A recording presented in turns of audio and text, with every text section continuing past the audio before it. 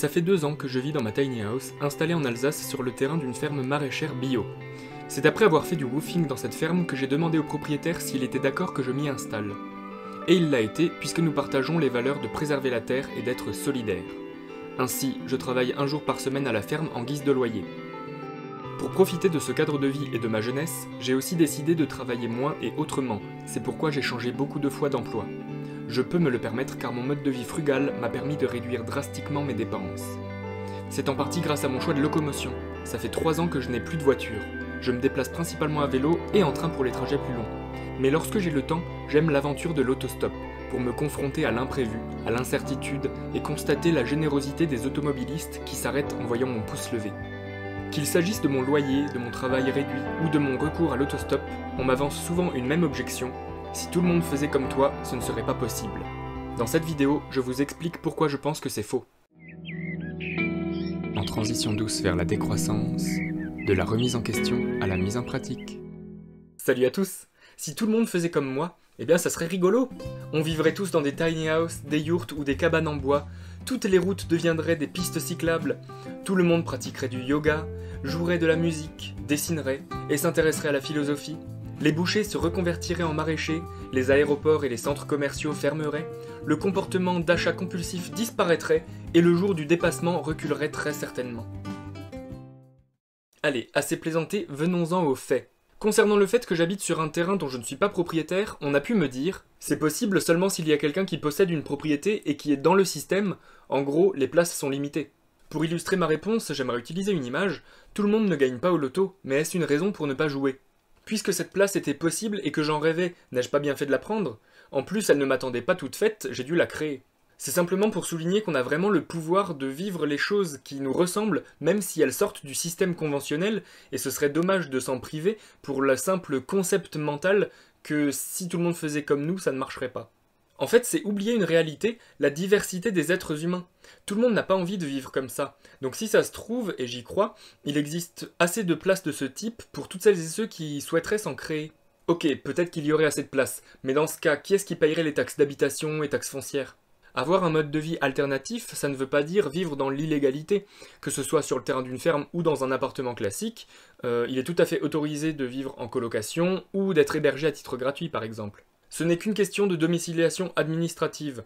Après, il n'y aura plus qu'à définir avec le propriétaire dans quelle proportion chacun payera sa part de taxes et d'assurance.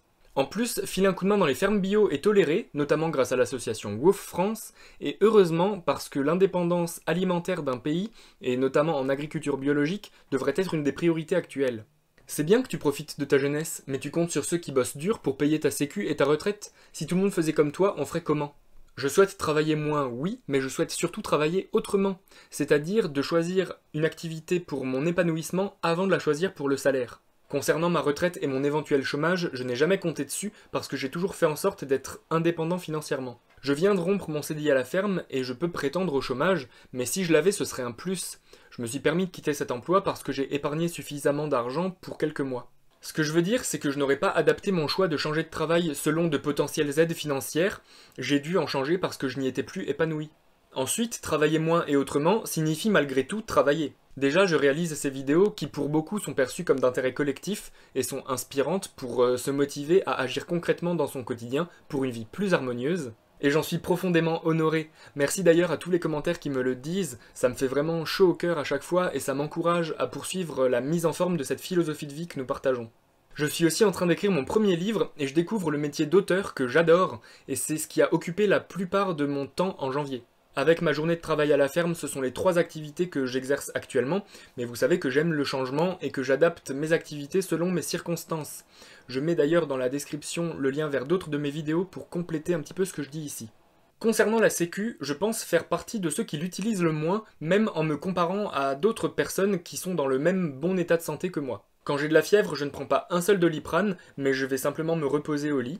Quand euh, j'ai mal à la gorge, je ne prends aucun sirop, mais je me fais des tisanes avec du miel. Et quand euh, j'ai le nez, le rhume par exemple, eh bien je me fais des inhalations avec des huiles essentielles d'eucalyptus. En bref, des produits que j'achète dans des magasins bio et pas en pharmacie.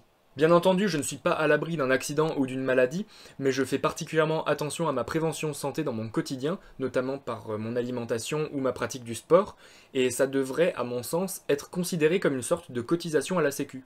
Si tout le monde faisait de l'autostop pour ne pas dépenser d'argent, qui conduirait les voitures? Bien entendu, cette question pousse à répondre qu'il serait impossible que du jour au lendemain, tout le monde se passe de voiture et fasse de l'autostop, puisqu'il n'y aurait plus de conducteurs. Mais je crois qu'il est un petit peu prématuré de s'imaginer que l'humanité entière serait prête à renoncer à la liberté de déplacement que lui procure ce véhicule, je pense qu'il faut surtout se poser des questions actuelles, par exemple, quel serait l'impact positif sur le monde si toutes les personnes qui n'ont pas fondamentalement besoin d'une voiture s'en passaient pour faire de l'autostop ou du covoiturage il y aurait évidemment des bénéfices carbone avec la réduction des émissions de gaz à effet de serre et de la production de véhicules, mais il y aurait aussi des bénéfices sur les relations humaines parce qu'on apprendrait à s'ouvrir aux inconnus et on se rendrait compte qu'ils sont souvent bien plus généreux que menaçants.